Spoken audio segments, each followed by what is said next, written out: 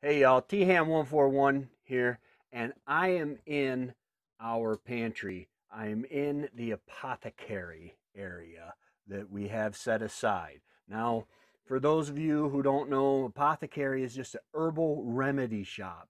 Uh, it's what pharmacy used to be before there were Greek words like pharmakia.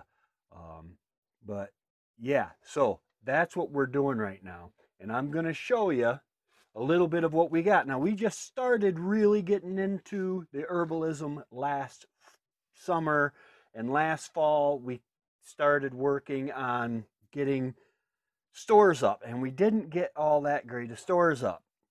Now, here we have, oh, my favorite vanilla extract. Oh, it's good. Oh, that's some good stuff there. Um, now, what you do with the to you take the vanilla beans and you just cover them in vodka, uh, 80 proof vodka. And every once in a while you come in and you stir it. Ah, oh, that smells good, I'm sure. Okay. Um, here we have an echinacea tincture um, that we made. Got some sediment in there. You want to mix it all up before you put it in your eyedropper to use. Uh, and we write right on it what it is good for. Echinacea tincture, the date, December 2nd, 20th. Colds, flu, it's an antibiotic, antibacteria. Take at first sign of cold or flu. Okay? And this will cut down the amount of suffering you do with flu or any other upper respiratory uh, problem. It also very good for urinary tract infections. Uh, let's see, goldenrod tincture. Everybody thinks, oh, I'm allergic to goldenrod. Chances are you're not allergic to goldenrod. You're allergic to ragweed, which grows under goldenrod and comes to blossom about the same time. The reason I say this is because goldenrod, the pollen is so heavy that it doesn't get very far from the plant. Whereas the ragweed gets in the air and in everybody's sinuses. They look around, they see the goldenrod blossoming. Now, some people are very allergic to goldenrod. Be careful when you start getting into herbalism. You can hurt yourself very badly uh, with this. Um, my mom, I wanted, before I would give her any goldenrod, she said, I'm allergic to goldenrod. And I said, ah, I think you're allergic to ragweed. Well, I picked a blossom of goldenrod. I got within three feet of her behind her, and she turned around and her nose was running and her eyes were watering. Okay, you don't want to uh, take this if you're allergic to it. But again, it is just an infusion into 80% alcohol, which makes it a, a tincture and will keep it for years. We'll preserve it.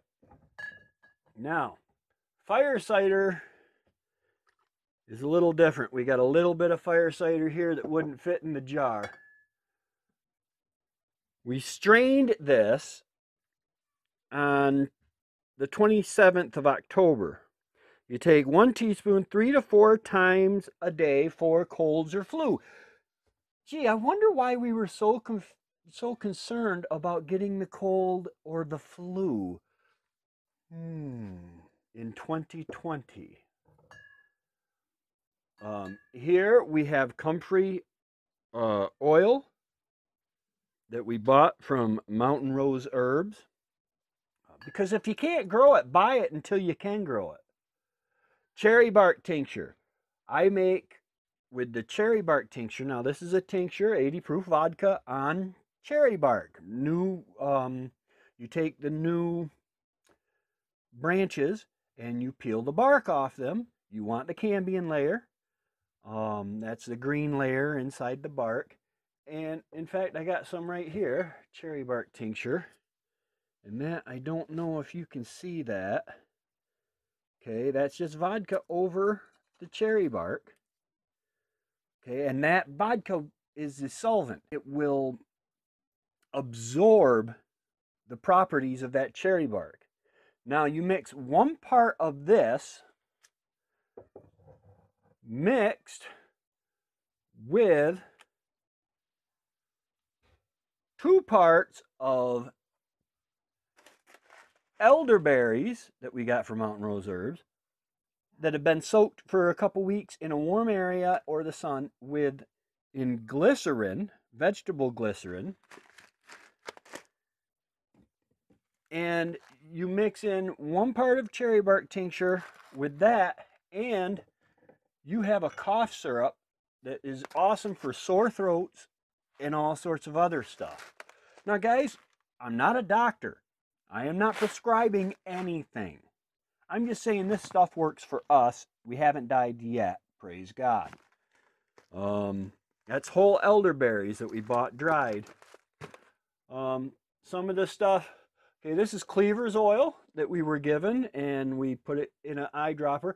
Now, for tinctures, all I'm taking of, say, um, the uh, goldenrod tincture, when my nose is running and I have my sinuses are all congested, I'll take uh, an eyedropper full of it and I will put three or four drops under my tongue, depending on how severe it is. Hold it there for about 10, 20 seconds and blow my nose. After I blow my nose, I usually find my nose starts opening right up. This is oregano, Oregano, an antibacterial. It fights infection, prevents cell damage, and it's loaded with vitamins. Who knew? So that's medicinal as well as flavorful. Parsley. If you can grow anything, you can grow parsley. Uh, it's good for seasoning and garnish, fresh breath, fresh breath, fluid retention, hay fever, diabetes. It's an anti inflammatory, antibacterial, antifungal, blood purifier, anti anemic, constipation, diarrhea, and it's an immune booster. Parsley. Wow. Ain't that something? Parsley is an immune booster. We also have thyme and rose hips up here. Um, that's the cleaver's oil. Now, we didn't have any comfrey leaf. This is in case we run out of the um, comfrey, comfrey oil because um, we use that along with camphor oil in Wendy's magical pain relieving cream. And I will link right up here. Uh, I'll put a link to that video. Um, man, you get that stuff on your hands and it is awesome. Okay, so that's the elderberries. Here we go again. All right, now, ooh, lost the vacuum seal on that. The spearmint. Oh, the spearmint. I'm going to take a little Mm. Mm-mm-mm. Spearmint. We dry all of our herbs ourselves.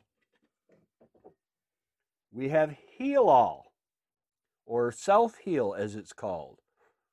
It grows wild in our yard. A lot of these things people consider weeds, like dandelion. Plantain.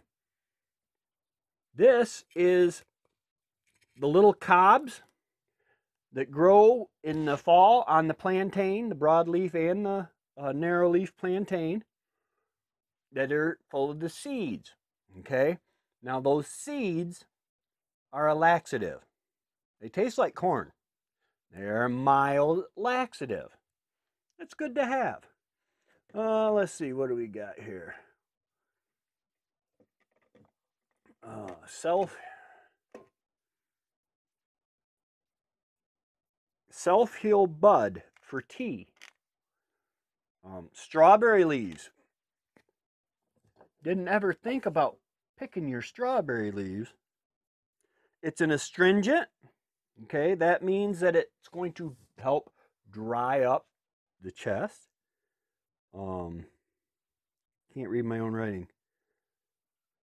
It causes construct, contraction of the cells and tissues. That's astringent. It'll open up your airways.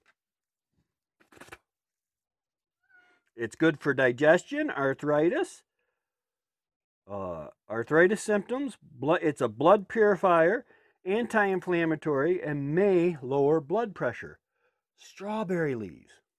Throw some of this in your tea, man. When you're mixing up your teas and stuff, not the laxative part of the plantain. Uh, that, that now these are plantain wounds, uh, plantain leaves. These are plantain leaves, and what they do is they're antimicrobial, antibiotic. They're good for cough, wounds, inflamed skin, insect bites, stings, wounds, and cuts. There's a story of a gentleman cut his leg with a chainsaw. Horrible thing to do. But he cut his leg with a chainsaw and uh, he grabbed some plantain leaves, macerated them up in his hands, and stuffed the wound with the plantain leaves. Goes to the hospital. Before he goes into the emergency room, he pulls all that out and cleans it. You know, he pulls all the leaves and stuff out. The doctor asked him which nurse cleaned the wound, and he says, No nurse has cleaned the wound yet. You're the first person to look at it. And he said, That's the cleanest wound I've ever seen. It cleaned it out, helped stop. That's plantain. Um, red clover blossoms. Yep, red clover blossoms. Lemon balm. Good for all sorts of stuff that ails you. Catnip. A catnip tea is a mild sedative. It's mild enough you can give catnip tea to children who won't go to sleep on their own. Lavender is good for anxiety, stress, insomnia, depression, dementia, and pain after surgery. Lavender. Huh. And you can grow this and collect it yourself. Make sure you know what you're collecting and you know what you're doing. I will put a link to the books, uh, a non affiliate link. I'm not affiliated with Amazon yet, but to get uh, the books on the backyard medicinals and such. Birch leaves. I did not write what birch leaves are good for, but they're good for a lot. Basil, blackberry leaves. Bramble, bramble leaf tea is awesome. It is anti-inflammatory. It is an immune booster. It's good for sore throats, mouth sores, wounds, topically used, hemorrhoids, topically used, and diarrhea. The tea can be used internally or topically. You decide. Uh, here's a seasonal sampler of tea that we bought. Um, we have, let's see if I can uh, pan down a little more. We have rubbed sage, whole rosemary, goldenrod. There's one thing it's easy to identify, it's goldenrod. And we make the tincture, I, I've been through that already. Then, ow, then I will show you. We have a little glycerin. We're going to get bigger things of glycerin. Pepto-Bismol. Wendy's Miracle Pain Cream. Um, our strips for testing our strips for testing our apple cider vinegar. I will link up here to the apple cider vinegar video. Alcohol, anti-itch cream, mucus relief, eye drops. That's and that guys is basically this part of our apothecary, okay? I'm saying this part because our apothecary is as broad as our yard. We have bone set that I have identified out here. We have um, mullein, all, all sorts of stuff. Learn this stuff. I'm going to be making a video of why we are off grid. Uh, I have not made it yet, so I can't link to it anywhere. But to where why why to why we are off grid. Why is that even important? Well, because there are reasons for choosing the off grid, self sufficient lifestyle. Um, very important reasons. Very important reasons I would suggest to you to do it. And having an apothecary, okay, is one of those things. It's part of being self sufficient.